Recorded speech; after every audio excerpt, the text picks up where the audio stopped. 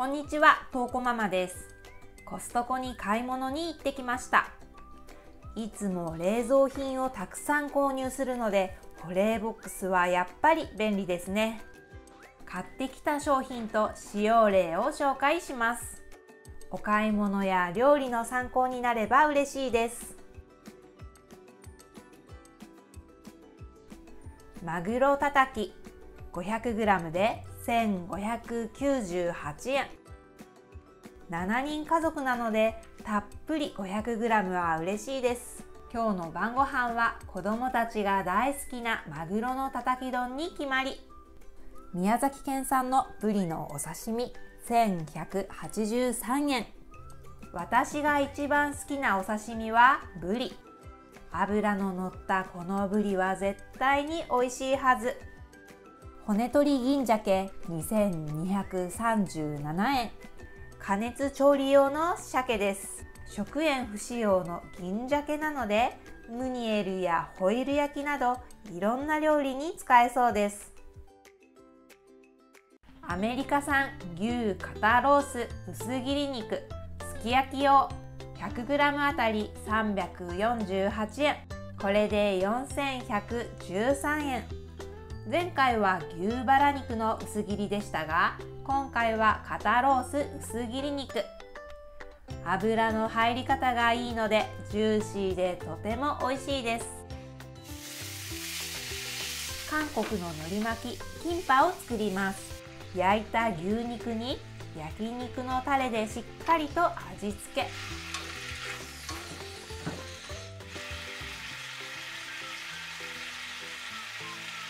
ご飯にはごま油と白ごまを混ぜ込みます。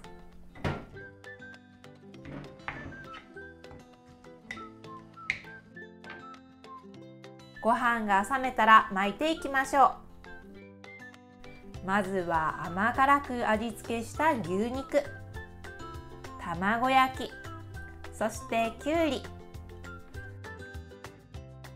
たくあんや人参などを入れてもいいですよね。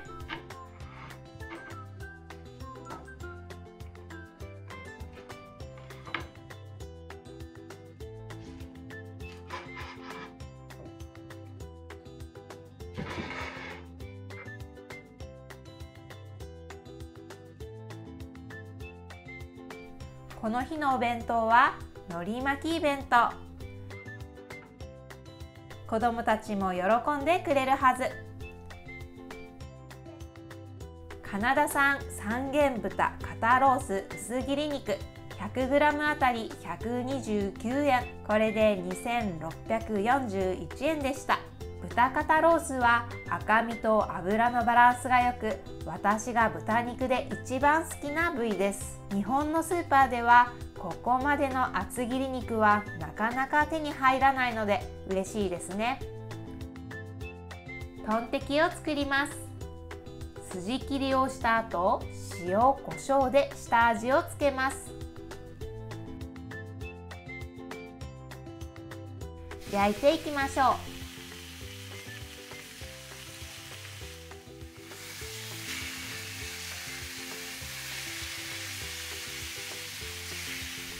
お肉が焼けたらソースを作ります。バターにお酒醤油ケチャップ蜂蜜を加えて煮詰めます。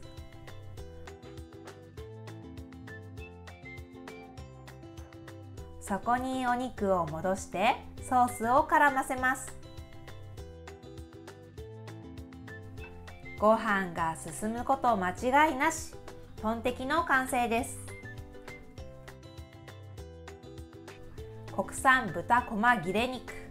100g あたり108円。これで2344円でした。コストコの細切れ肉は一枚一枚が大きくて食べ応えがあります。こちらも毎回のリピート品。国産鶏もも肉 100g あたり108円。2.5kg で2698円でした。桜鶏のもも肉がこの値段で手に入るのは嬉しいです。ノーシュガーベーコン 454g で1388円。製造過程で砂糖が使われていないベーコン。原材料がとってもシンプルなのも嬉しいですね。今が旬のアスパラガスをベーコンで巻いてアスパラベーコンを作りました。晩ご飯の一品やお弁当にも良さそうです。こちらもリピート品。北海道特選牛乳。2本セットで480円。すっきりとした味でやっぱり北海道の牛乳は美味しいです。子供たちは牛乳が大好き。冷蔵庫に入れておいたら気がつくとなくなっています。雪印北海道バター3個セットで1019円。最近はバターも値上がりしていますがバターは料理にコクと旨味を出してくれるのでやっぱりバターは欠かせません。プレミアムユダヨーグルト618円。ねっとりもっちりした食感が特徴のヨーグルト。生きて腸まで届くビフィズス菌が入っているので腸内環境を整えてくれる効果があるそうです。子どもたちはヨーグルトが大好きなので 800g の大容量は嬉しいですね。こちらは加糖ヨーグルトなので少し甘めです。我が家はいつも無糖ヨーグルトを食べるので次回は無糖のヨーグルトを買おうと思います。甘い。梅ちりめん 350g で1248円。国産原料を使った無着色のちりめんふりかけ。カリカリ梅の酸っぱさと野沢菜のシャキシャキ感がベストマッチ。素材の美味しさが引き立つちりめんのふりかけです。熱々のご飯に梅ちりめんを混ぜ込みます。この日の朝ごはんは梅ちりめんのおにぎり。忙しい朝にはぴったりの一品です。レッドシードレスグレープ3ポンド約 1.3kg で1198円。皮ごと食べられる甘酸っぱいぶどうです。お弁当や食後のデザートにぴったり。子どもたちはフルーツが大好きなので 1.3kg あっても数日でなくなりました。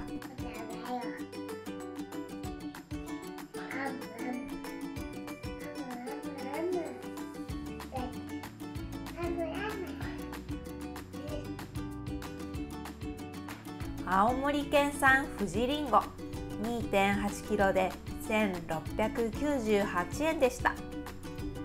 全部で13個のりんごが入っていました。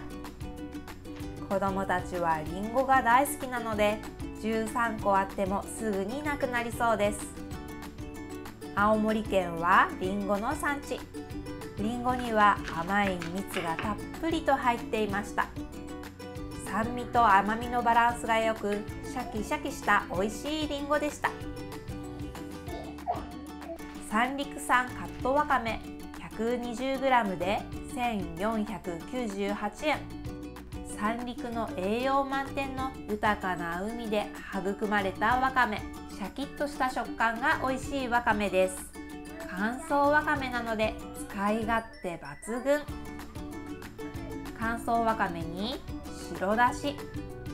そしてお湯を注げば即席のわかめスープの出来上がりです。忙しい朝のご飯のお供にぴったりです。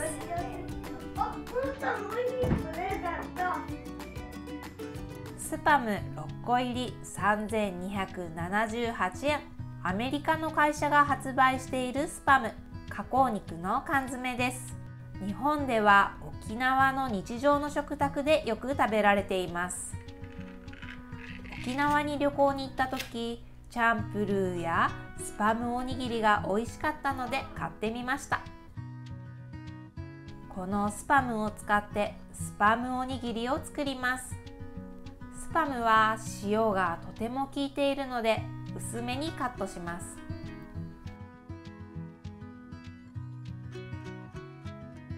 フライパンで両面をこんがりと焼きます。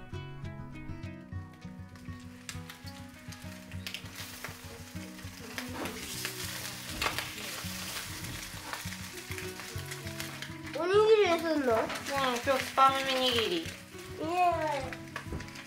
えだから卵なんの焼いたスパムと卵を用意しました。おにぎりの方は洗ったスパムの缶を使います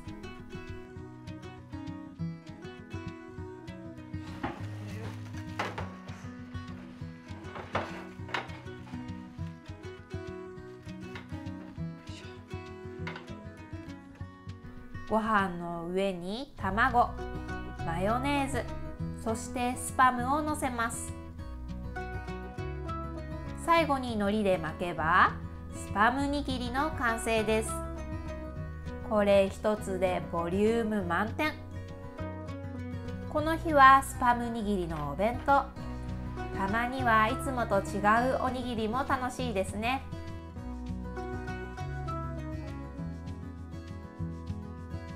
1缶で8個分のスパム握りができました。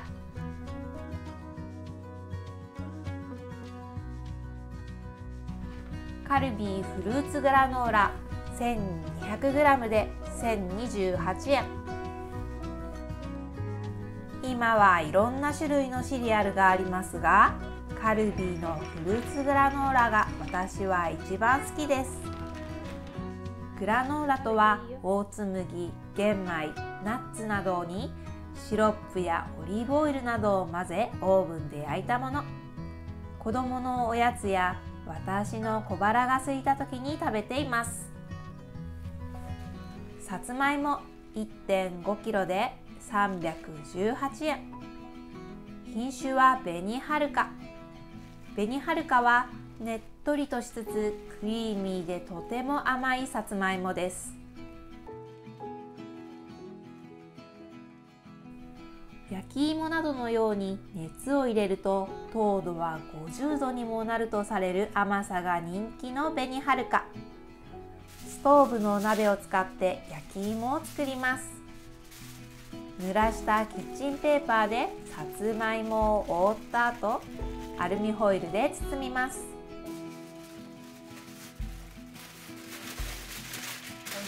こ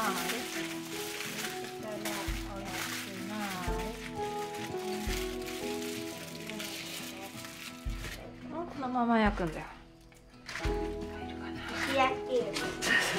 鍋焼き。あ入るかな。ギリギリギリギリ入ったね。焼き芋。鍋焼き芋。まずは弱火で30分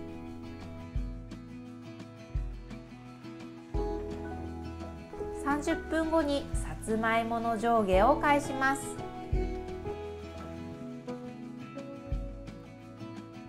また蓋をして弱火で30分焼きます。さつまいもが柔らかくなるまでトータル1時間15分焼きました。甘くてホクホクの焼き芋ができました。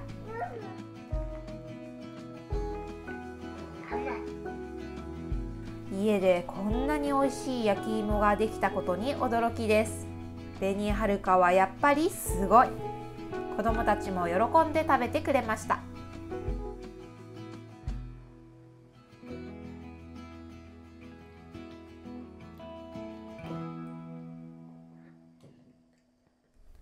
北海道産玉ねぎ 3kg980 円。これは毎回コストコに行くたびに買っています。韓国味付け海苔フレーク。3パック入って1628円。韓国海苔は程よい塩味と香ばしいごま油が効いていて美味しいですよね。これは韓国海苔のふりかけタイプ。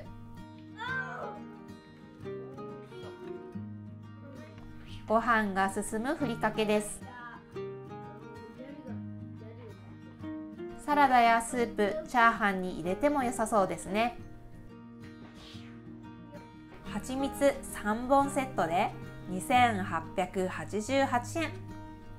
クマの容器がかわいい蜂蜜。つい手に取ってしまいました。パンやヨーグルトにかけて食べたりお料理に使ったり。蜂蜜は普段からよく使っています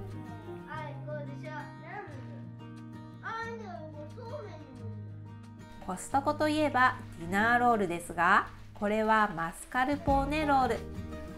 たっぷり入って798円。ふんわりとした香りと甘み。ほんのり香るマスカルポーネチーズのパン。口の中にほわっと広がる甘さが美味しいパンでした。焼けたよまだでかいのおいしい。ふーちゃんどう？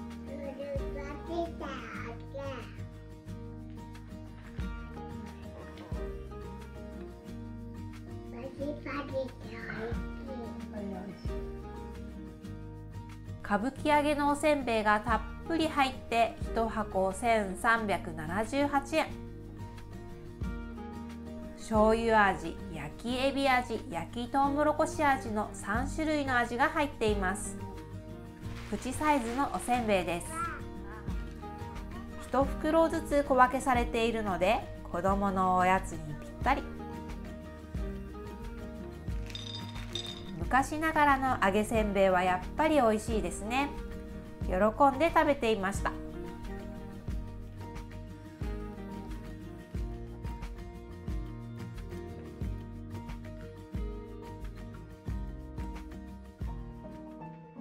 ティファールの圧力鍋9966円。ティファールの圧力鍋がこの値段で買えるのは嬉しいです。ティファールならではの安全設計と使いやすさで圧力鍋初心者にもおすすめの鍋です。料理教室の試作などで家でも必要なので購入しました。圧力鍋は時短調理ができるので忙しい時には助かります。通の鍋で料理した場合と比べ最大3分の1まで料理時間を短縮できるのはすごいですよね。とても時間のかかるオニオングラタンスープも圧力鍋があれば簡単に作れます。軽く炒めたら水とコンソメスープを加えます。飴色になるまで炒める代わりに圧力鍋で玉ねぎを短時間で煮込みます。ダイヤルを圧力がかかる方に回します。蒸気が出るまで強火で加熱します。シュッと穴から蒸気が出てきたら弱火にするタイミング。この後弱火で5分ほど加熱しました。玉ねぎの甘さが引き出されたオニオンスープに仕上がりました。容器に注いだらこんがりとトースタしたパンをのせます。その上にとろけるチーズ。トースターでチーズが溶けるまで焼けばとろーりチーズと玉ねぎの甘みが美味しいオニオングラタンスープの完成です。グリドルパン3598円こちらはキャンプ用に購入しました。焼いたり炒めたり煮込んだり様々な料理に使えます。なんといってもこの驚きの軽さ手軽に持ち運びができるのが嬉しいですね。5層コーティングなので食べ物がくっつかず38センチの平らで広いグリドルパンなので焼き芋の料理には最適です。このグリドルパンがあればいろいろなキャンプ料理が楽しめそう。この日はグリドルパンでチャーハンを作ってみました。コストコで買った牛肉に塩、胡椒をして焼きます。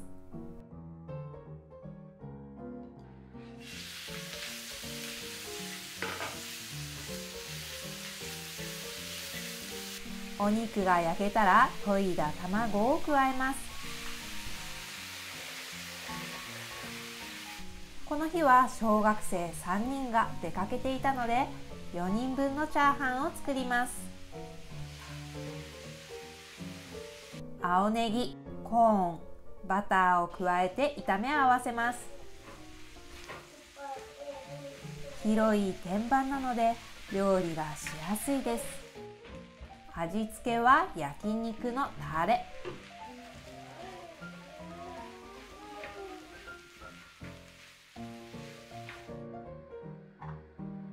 ダメダメダメ。お茶はお茶お茶お茶。キャンプに行ったら作りたい焼肉チャーハンの完成です。コストコに行くとついつい買いすぎてしまいます。今日の合計金額は5万1561円でした。鍋などの調理器具も買えたので満足です。お肉は小分けして冷凍しておこうと思います。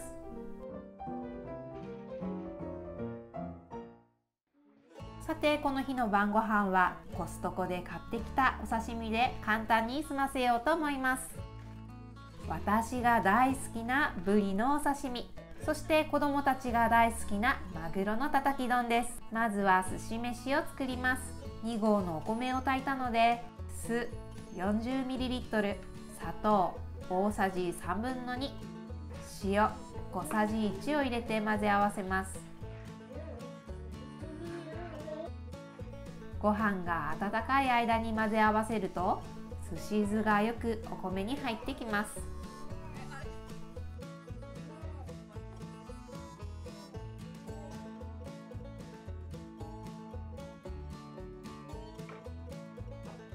ッチンペーパーで余分な水分をしっかりと取ります。部位の柵が大きいのでお腹と背中2つに分けておきましょう。包丁を手前に引きながら切っていきます。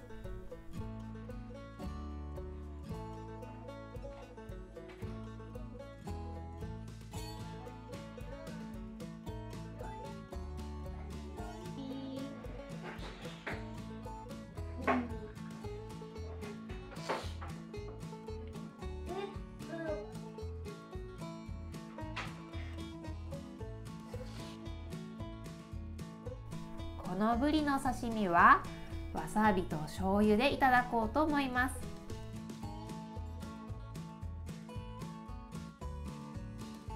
残りのぶりで韓国風のユッケを作ります。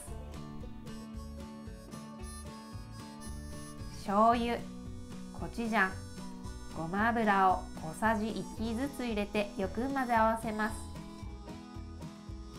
あとはぶりのお刺身を入れるだけ。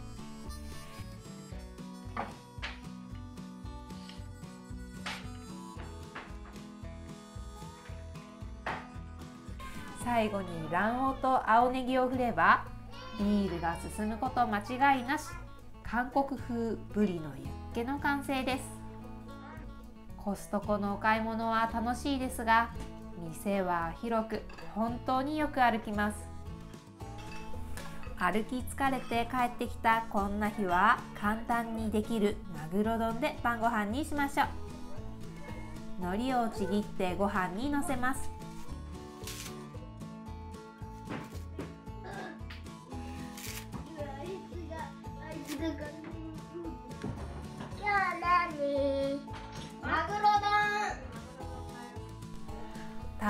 のマグロのたたきと青ネギをのせるだけ。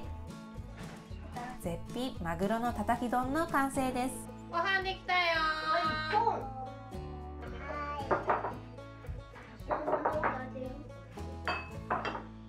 のりブリ。です俺が好きなブリがありましたれユッケお醤油は俺がもらうのは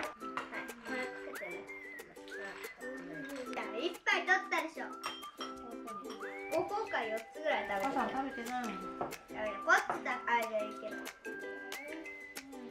これ食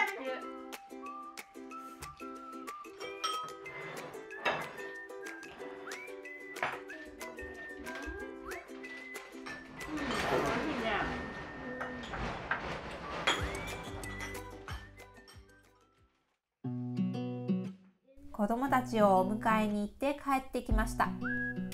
今日はコストコで買ってきた食材を使って晩ご飯にしようと思います。コピーと。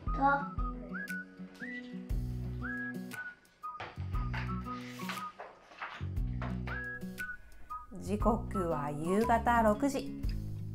急いで晩ご飯準備に取り掛かります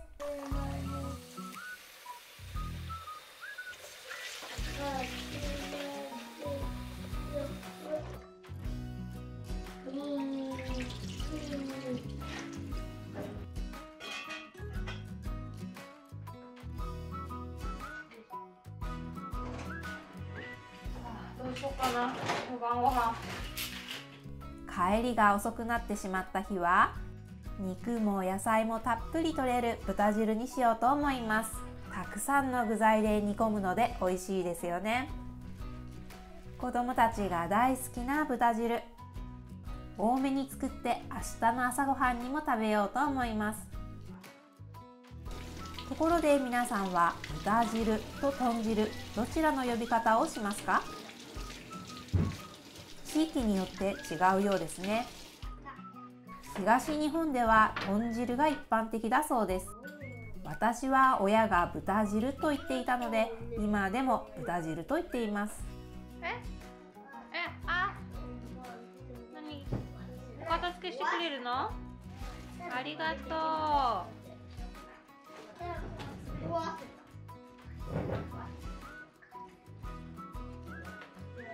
ってない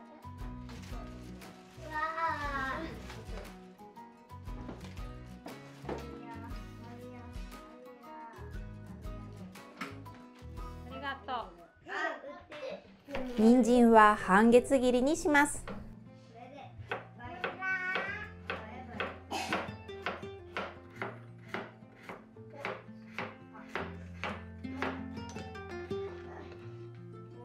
立派な大根が届きました。生活クラブで購入した無農薬大根です。大根の下の方は辛みが強く大根おろしなどに向いています。他の具材としっかり煮込む豚汁は大根の下の部分を使っても美味しいので今日はこの部分を使います。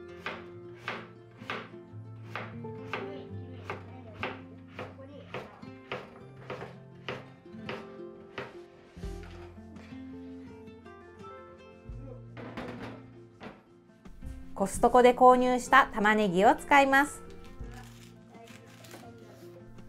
玉ねぎが豚汁に入ると甘みが増して美味しくなりますよね。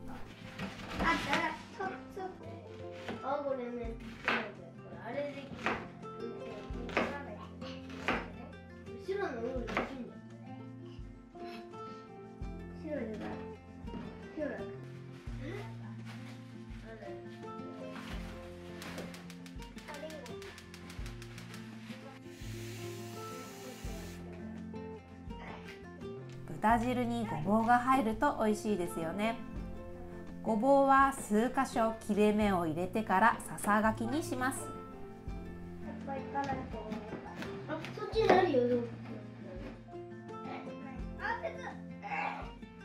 え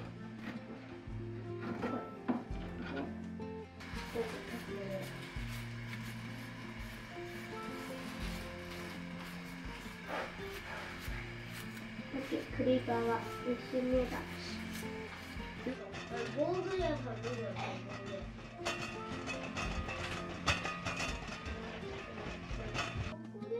子供たちが大好きなこんにゃくもたっぷり入れましょう。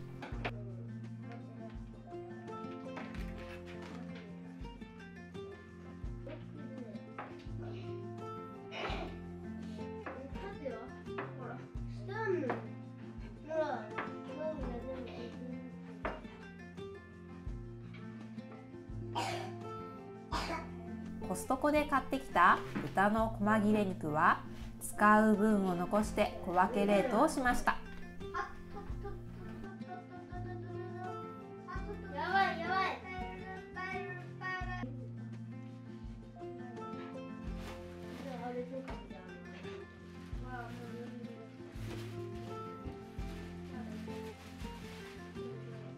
だしはだしパックを2つ使ってたっぷりと取りました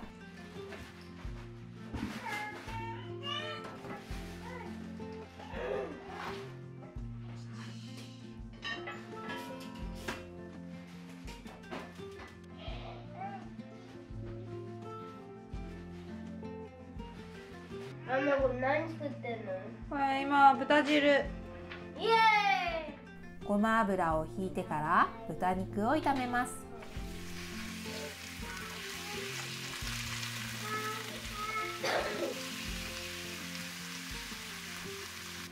野菜を加えます。炒めてから煮ることで旨味が増して味わいが深まります。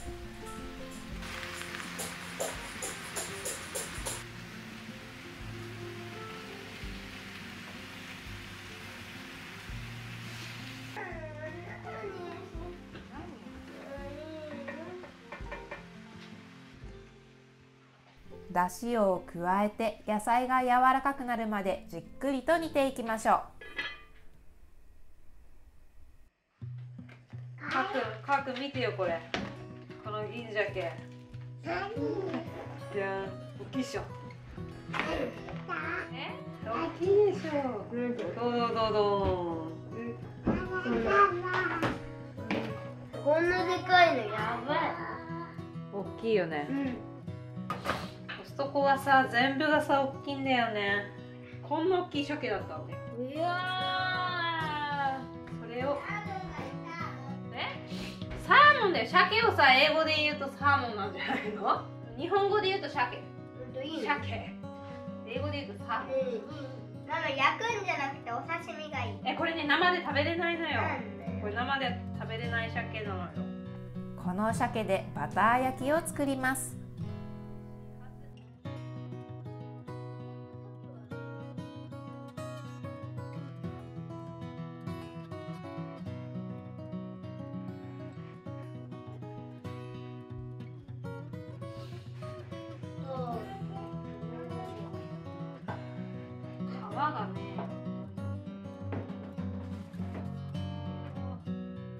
昨日のやつのうんなんか一番透明なねお魚もう一回食べたい。あぶりブリ美味しい。ぶり美味しかったよね一番透明なや 透明なやつ？ああぶりの多分ねトロの部分ね。トロのところ。つお腹のね白い方よりあの透明のねブリの方が美味しかった。あの上がピンクになってるや思ったよりたくさんの鱗がついていました包丁の背を使って鱗を取っておきましょう。塩、胡椒で下味をつけます。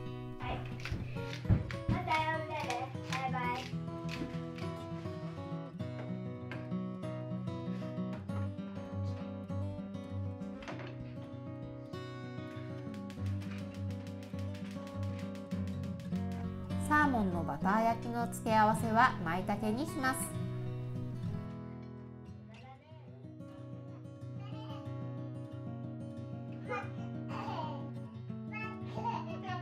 舞茸を入れたら触らずに焼き付けていきます。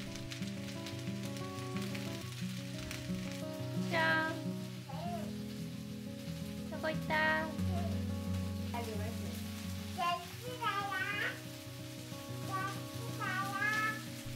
がり焼き色がついたらひっくり返します。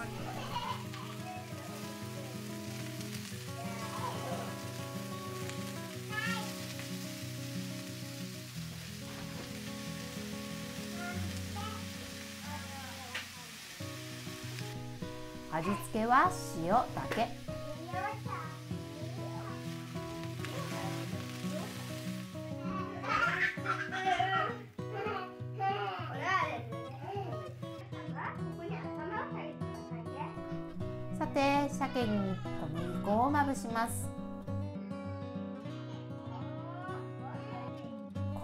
には鮭の旨味を閉じ込める役割があります。とっても肉厚の鮭。焼き上がりが楽しみです。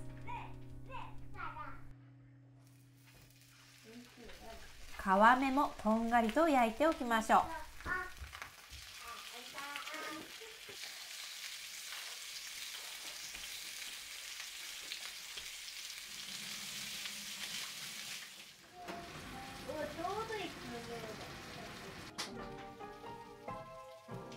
さんの具材のうまみがスープに溶け出ているので豚汁は汁が美味しいですよね。味噌を溶かします。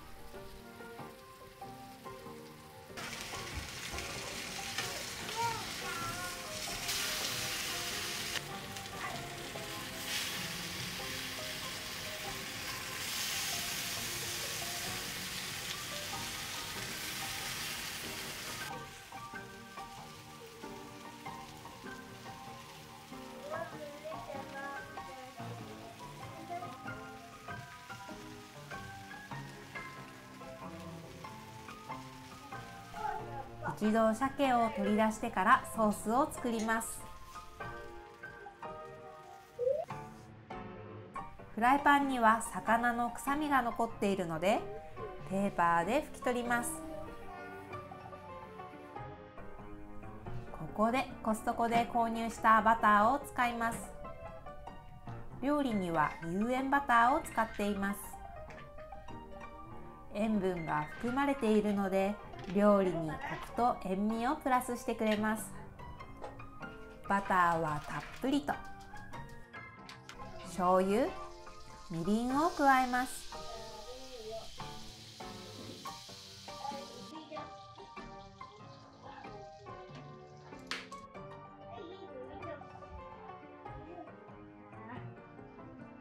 鮭を戻して煮絡めます。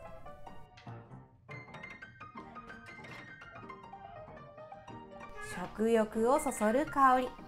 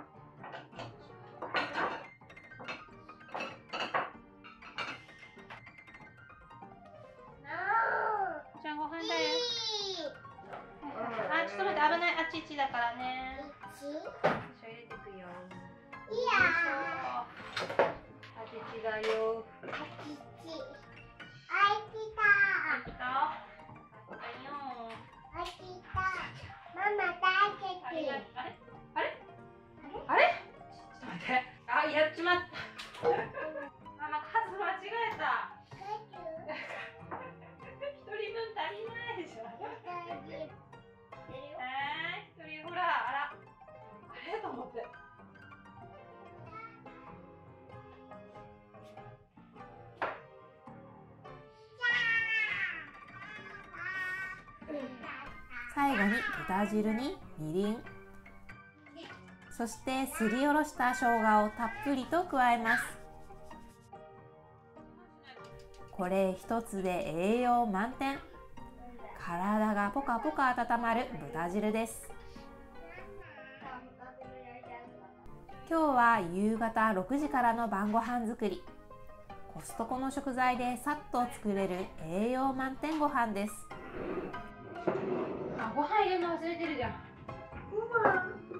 タケだよはい入れるよあーわかっ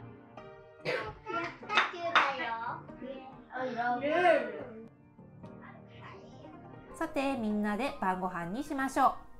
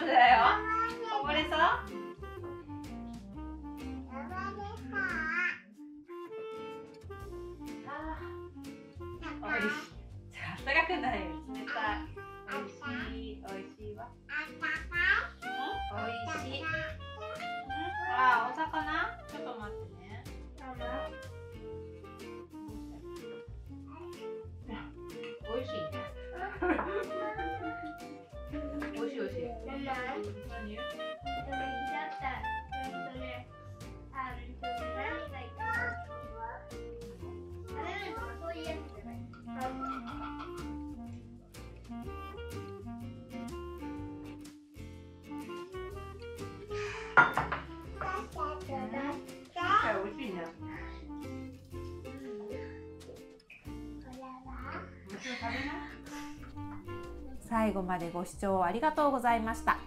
この動画が面白ければ高評価チャンネル登録お願いします。また次の動画でお会いしましょう。